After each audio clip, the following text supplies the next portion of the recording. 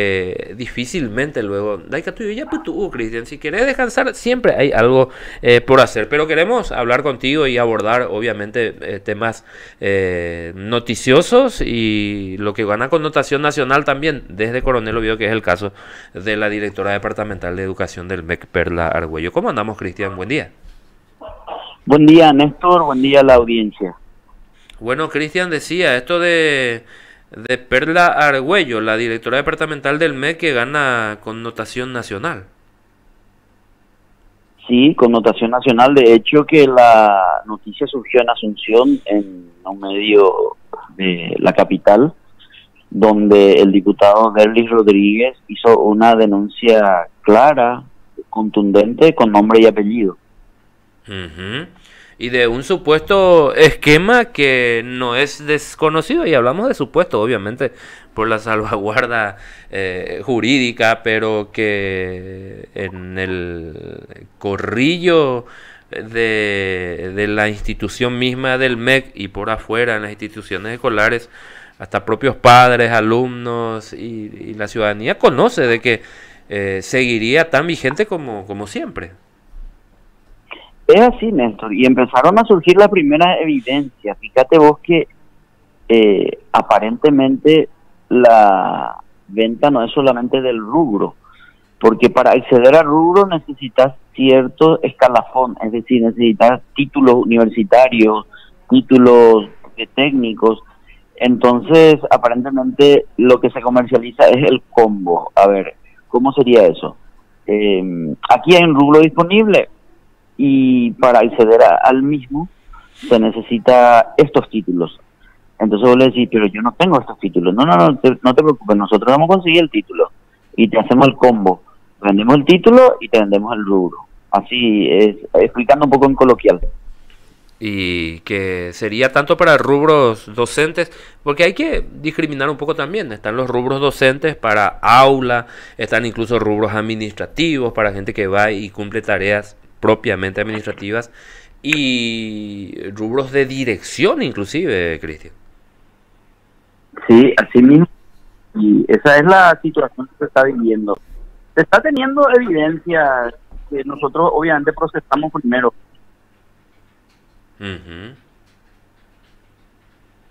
A ver, te estamos perdiendo, Cristian. Estamos perdiéndole en la, en la comunicación. Al, Sigo aquí yo. Ahí, ahí está, ahí está, ahí recuperamos de nuevo. Va, va, a cambiar el mecanismo, me dice aquí Adri, para poder estar eh, contigo entonces de vuelta, Cristian, porque es un tema muy, eh, no digo complejo, ¿verdad? Porque no, no hay demasiado secreto tampoco en esto. Es la venta de rubro, un hecho denunciado desde, desde Añares. Y lo que sí es, eh, evidentemente eh, llamativo es que esto no garantiza aquello de una educación de excelencia, Cristian. Te volvemos a escuchar. Mira, hoy mil, un millón cuatrocientos mil alumnos inician clase en todo el país, con más de ocho mil aulas en estado deplorable, con supervisiones con encargado de despacho, con escuela con este grado plurigrado porque no hay docentes y estar hablando también de venta de rubro es un contrasentido y al parecer esto demuestra y evidencia que el interés de quienes llegan a ocupar cargos para trabajar por la educación lo hacen para beneficio propio y no para lo que corresponde, Néstor. Esto es claro y evidente. Por eso es que la educación en Paraguay sigue siendo deficiente. Totalmente y eso se evidencia a diario. Ahora bien, es un, hecho que se está procesando eh, periodísticamente, como lo ibas diciendo, y tampoco estamos para victimizarnos o ponernos en el rol de víctimas, eh, Cristian, y, en tu caso particular, eh, al menos con esto que hoy eh, trasciende y sale la propia directora Perla Argüello al paso diciendo de que es una cuestión de persecución y no una cuestión de, seguimiento periodístico. Y aquí lo, lo habíamos dicho en innumerables ocasiones. Es ella directora departamental de educación desde eh, casi finales de año 2023, pero mm, nunca ha, accedido a darnos información y por tal motivo volvés a recurrir a ella ahora que salta la denuncia y, te indica inclusive de que vas a ser blanco de acciones judiciales, Cristian. ¿Cómo lo tomas? Y creo que es una más, una más de, gente, una más de las personas que como funcionaria pública es sujeta de denuncia, de investigación, de cuestionamiento y una más quienes están con esa amenaza. Hace poco a mí me envió un emisario, la doctora Viviana Villal Garcete, presidente de la FUNCA y funcionaria de la UNCA, diciéndome que iban a querellarme. Y, y esa, en vez de salir a demostrar que no es verdad lo que se denuncia contra ellas, lo que quieren es amordazar a la prensa, quieren hacer callar, quieren, están queriendo hacer el chaque eh, con la justicia, ¿verdad? Y con la mala utilización de una ley que es la ley 5777 de protección integral a la mujer contra todo tipo de violencia. A mí me escribió Perla Arguello y dice, basta de violencia contra la mujer. Pero esta no es una violencia contra la mujer, esto es una, a ver, una denuncia frontal con contra un supuesto esquema de corrupción. O sea, la corrupción no tiene género, puede ser practicada por varón, por mujer, por cualquiera, por joven, por adulto. Puede ser tanto este, igual o más corrupto un hombre que una mujer. E, eso no, distingue. La, la, corrupción es una línea de conducta que no está vinculado al, a la biología humana, Néstor.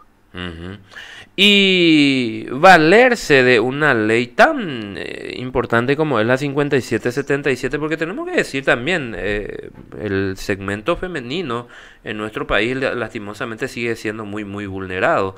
Y e, esta ventana de utilizar la ley 5757, 77, la iniciaron acá, cerquita nuestro nada más, en, en una ciudad vecina, en Yataití, eh, Cristian, con el caso de la, de la intendenta de esa ciudad. Sí, la intendenta de Yataití, Gloria Duarte, quien utilizó, o sea, en realidad es un recurso que utilizan los corruptos, pero quienes se prestan a los corruptos son al final los fiscales y jueces, ¿verdad? En este caso fue la jueza de paz, creo que es Casco su apellido, acá Alderete, Alderete, ¿verdad?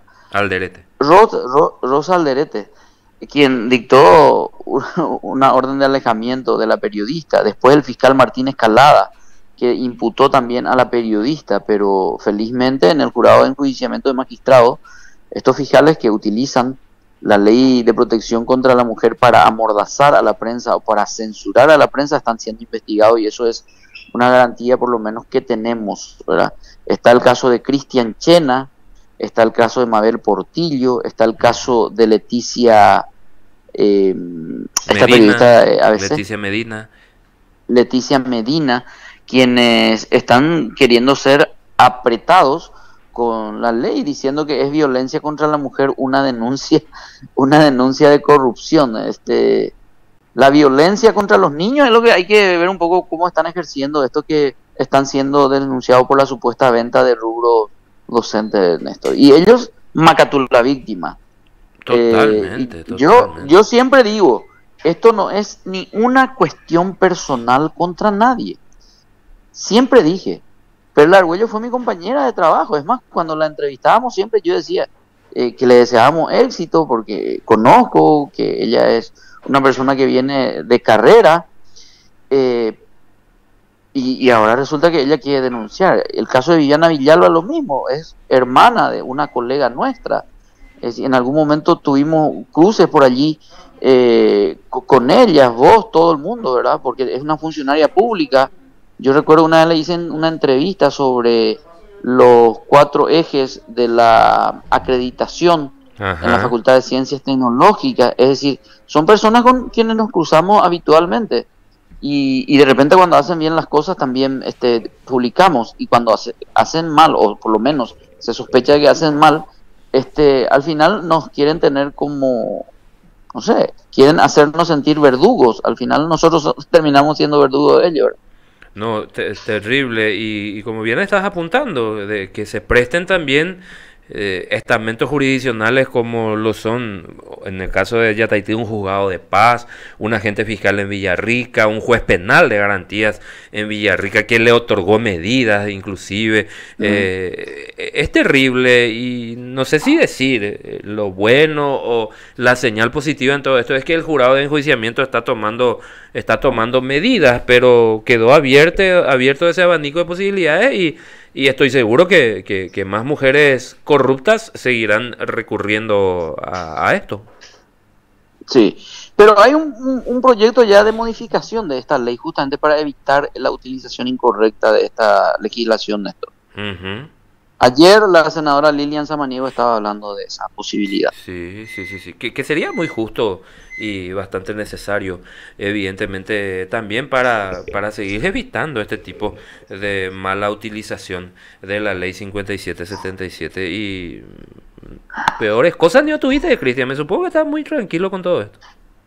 No, claro que sí, que estoy muy tranquilo. Este, en su momento lo hizo Alejo Río, lo quiso hacer Rodolfo Méndez, lo quiso hacer el propio intendente municipal, este, Eladio González Torres, en su momento me enviaron escribanos, unos funcionarios públicos, siempre intentando acallar y amordazar a la prensa. En su momento la Junta Municipal nos envió escribanos en la redacción de Tobido Press, cuando denunciamos que querían un millón doscientos guaraníes cada uno para viático para ir a ver cine en Asunción.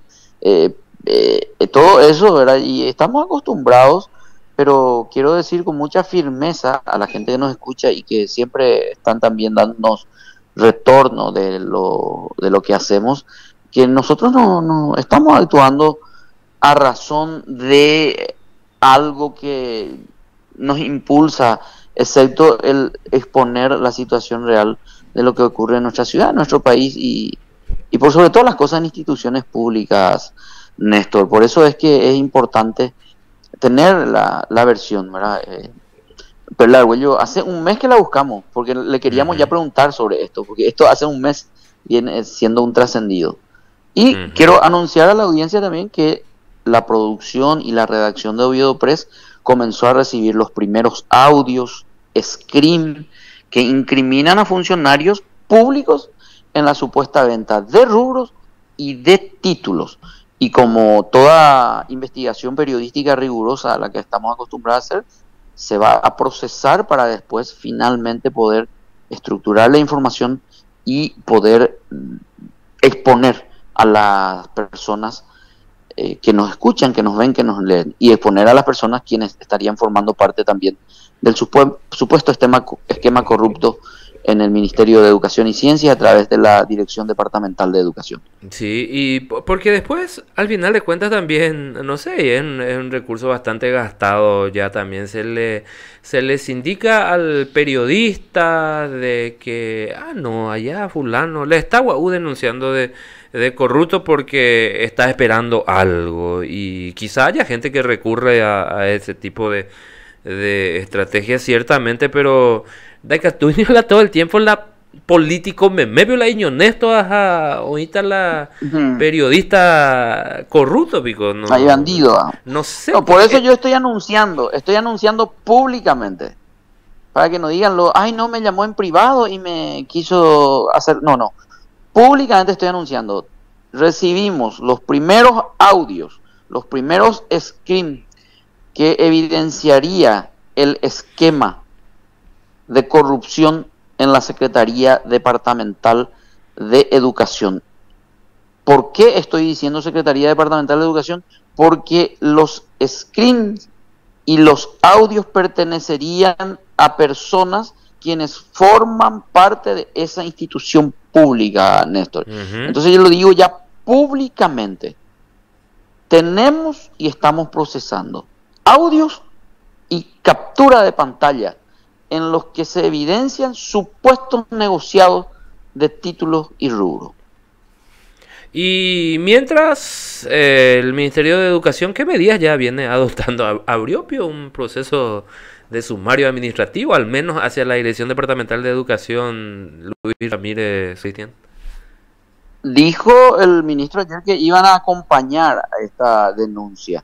Pero yo lo que me pregunto, el Ministerio Público acá, la fiscal delegada adjunta, Gilda Villalba, Totil, el fiscal delegado adjunto, Fermín Segovia, la fiscal Lourdes Soto, la fiscal Gladys Torales, el fiscal Edgar Torales, eh, no sé, la fiscal Norma Ortiz, creo que Martín Escalada también ahora arribó a Coronel Oviedo, el de Villarrica, el que censura a periodistas, llegó también a Coronel Oviedo. ¿Qué hacen ellos ante esta grave denuncia hecha por un representante ciudadano que es un legislador, nada más y nada menos que un diputado de la nación, dando nombre y apellido?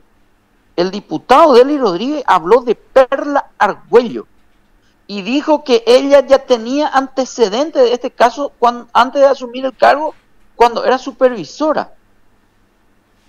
Y los del Ministerio Público están, no sé, están tomando tereré, parece.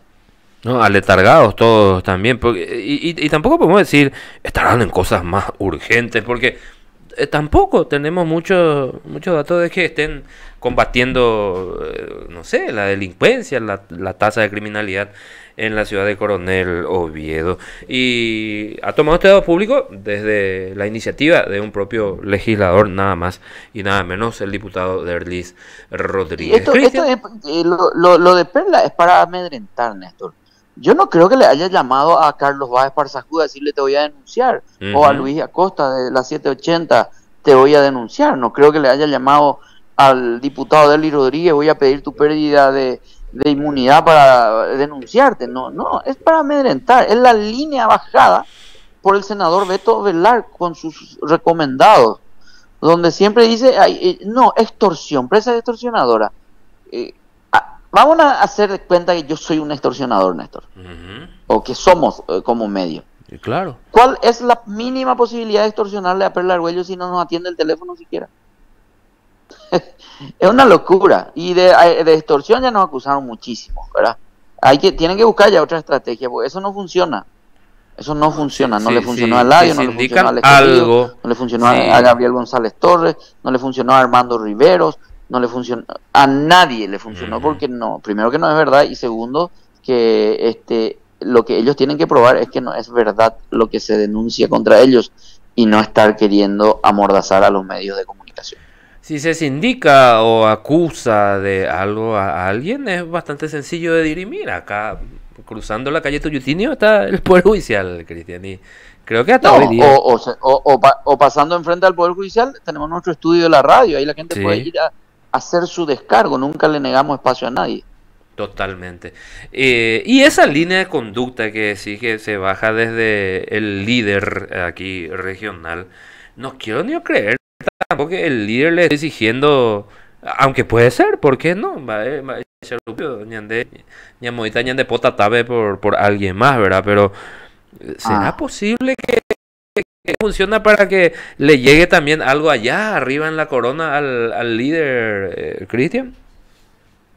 Yo no podría saber eso, o podría suponer, pero no, pero yo veo a docentes con carpetas que llegan en el barrio de junio todos los Porque digo nada más, es por replicar es por replicar lo que se dice en, aduanas, eh, de que eh, el director general de aduanas pone allá en Ciudad del Este, en la frontera, y tiene que llegarle eh, supuestamente un porcentaje. En la patrulla caminera pasa, pasa eso porque tiene que llegarle un porcentaje. Y en, otras instituciones similares, y, no sé, podría ser también una situación que, que, se pueda dar en lo político. Y, a mí me da hasta mucha pena, Cristian, porque en el Congreso de la Nación, con una pseudo preocupación y responsabilidad extrema como legislador. Eh, Beto Velar, por un lado, denigraba la educación en el quinto departamento, le denigraba a la propia directora y por el otro, él también, Guau, denunciaba de que no había vocación de los docentes, de que se compraban, no se vendían los rubros, algo que seguramente lo conoce bien, ¿verdad? Pero que fue, no fue más allá de lo superficial, nada más. No, ah, respondiendo un poco a tu pregunta, Néstor, yo veo y todo el mundo ve todos los viernes docentes con carpeta roja bajo el brazo esperando hablar con el senador Ovelar en el barrio 12 de junio. Sí. O sea, respondiendo nomás un poco tu pregunta, ¿verdad? No sé si eh, tener que decir dos más dos, ¿verdad? Pero, pero a veces mm. lo evidente... Eh, ¿Cómo es que decía Beto Velar la semana pasada de eh, esa especie de que de lo evidente no hace falta hablar demasiado, ¿verdad? sí, sí, sí. De lo que no, ante lo que no se puede hablar se calla. Y, y, es probablemente que eso pase los viernes en, en las tardes y mañanas de audiencia. yo quiero decir nomás, Lorena Ocampo, por ejemplo, nos tiene bloqueado a todos los de Oviedo Press el teléfono, incluso el de la producción. Y Perla Arguello empezó a hacer también cuando la producción le insistía a querer hablar con ella. Nosotros solamente enviamos un mensaje eh, estándar, incluso que tenemos en la producción, donde dice, buenos días señora directora departamental de educación nos comunicamos con ustedes de la producción del programa Hablando Claro, emitido desde Oviedo Press por Radio Mundo Sol, conozco en memoria el texto, para poder concretar con usted una entrevista sobre el siguiente tema. Incluso hablamos siempre, adelantamos el tema que vamos a abordar para que la gente esté preparada y que no, no crea que haya una especie de emboscada que suele haber de, por parte de varios medios. Y no, nosotros somos bastante en ese sentido. Totalmente bien, Cristian, y apartándonos un poco del tema también de la dirección departamental del MEC. Importante la actividad que se impulsa para el infame barrio de Coronel ¿El infame qué? El barrio chino de Coronel Oviedo. Sí, sí, sí. Eh, la incursión de varias instituciones es importante. Escuché tu comentario el día hoy hay que ver de que eso sea sostenible, que no sea algo momentáneo, que no sea un flash, y quienes eh, van como autoridad o representantes de las instituciones puedan tener esta jornada como una especie de relevamiento de datos para ver a partir de ahí qué se puede hacer. Sí, sí, sí. Y que sea sostenible por sobre todo. Y, y en el, y en el tiempo. Bien, Cristian, eh, no sé, alguna otra, eh, algún otro comentario que realizarnos hoy en vísperas del día del Día Nacional del Tereré, en este fin de semana que, que vamos arrancando, cerrando contigo el enlace. Estaba viendo que hay Tereré Upá y Pojanusá y eso ahí en la sede de la gobernación. Así que por ahí la gente que quiere desayunar y comer, a lo mejor, no sé si está disponible a todo público, pero he visto que está en un stand ahí. Acá Rubén me si pudiéramos irnos con Rubén ya parece que estábamos desde, desde la gobernación. A Adri no le gusta tanto el menú de Tererupa, pero eh, haría también un esfuerzo, no decía. Mañana es el Día de la Mujer Paraguaya también, Néstor. Creo que hoy es importante hablar un poco de eso. Eh, la producción está coordinando una entrevista con el profesor José Asunción Santos, porque eh, resulta que la, la, recordación del Día de la Mujer Paraguaya se da en base a la fecha en la que las mujeres, tanto de la capital y del interior, han acercado sus joyas, prendas, mm. oro, para dar soporte, ya, su pena financiero a la guerra. Sí, sí, sí. Y ayer hacíamos... Ayer hacíamos mención de, de, cómo fue también el proceso en el Parlamento, allá por la década del 70, cuando se buscó instaurar esta fecha. Sí. Y hubo mujeres de Coronel Oviedo, quienes eh, quedaron registradas en la historia y entregaron sus joyas, prendas y, y, todo lo que tiene que ver con artilugio. Así que hoy con el profesor José Asunción Santos vamos a a analizar y conocer por lo menos eso. Así que la producción ya estará contactando con él.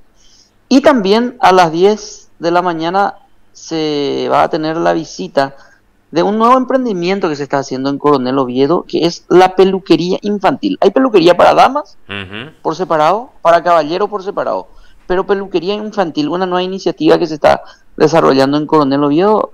Ahí ustedes van a tener la visita de los protagonistas y los emprendedores de ese caso, Néstor. Sí, te cuento también así en, en, alusión a la... Déjame, déjame desarrollarte todo. Y las diez y media el diputado Derrick Rodríguez en línea para hablar de todo este escandaloso tema de venta de rubros. Sí, sí, sí, sí. Eh, y te, te, estaba también eh, diciendo, eh, respecto al mal uso de la ley 5777, venimos eh, también aquí la producción me cuenta tratando de contactar con la doctora Alejandra Peralta Merlo. Ella es eh, impulsora también de leyes de protección a las mujeres y ella misma está diciendo que se está mal utilizando esta ley. Y tenemos la posibilidad también de dialogar con ella porque está impulsando ella la la defensa de en capital los afectados, el caso de Cristian Chena, análogamente también Leticia Medina, la propia eh, Mabel Portillo, en fin, eh, porque es un tema que no se puede dejar pasar, evidentemente. Cargado, eh, cargado día viernes por aquí, Cristian, y en el fin de semana también todo lo que se irá procesando. Así es que te, te, despedimos. Feliz resto de. Saludos a la audiencia. Muy bien, ahí estaba nuestro compañero, director periodístico aquí de Hablando Claro Cristian.